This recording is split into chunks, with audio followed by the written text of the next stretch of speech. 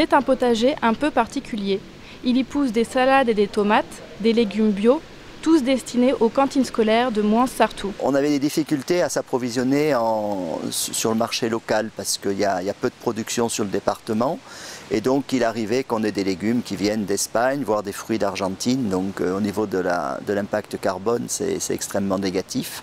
Donc on, on, s'est dit que la meilleure façon d'avoir une production locale, c'était de la, de la mettre en place puisqu'elle n'existait pas. Une agricultrice communale a été embauchée pour exploiter le potager. Objectif 30 tonnes de légumes par an. Ici, le bio, ce n'est pas qu'une alimentation saine, c'est un projet de société et les enfants y sont associés. Ça leur permet donc euh, bah déjà de peut-être de mieux apprécier certaines choses qui ne sont pas courantes, qu'on ne trouve pas forcément beaucoup dans les assiettes, telles que les blettes, parce qu'ils les ont cueillies, ils ont vu ce que c'était. Donc je pense qu'après, euh, pour eux, c'est peut-être plus facile de faire l'effort de goûter et d'apprécier. Chaque matin, la récolte prend le chemin de l'école.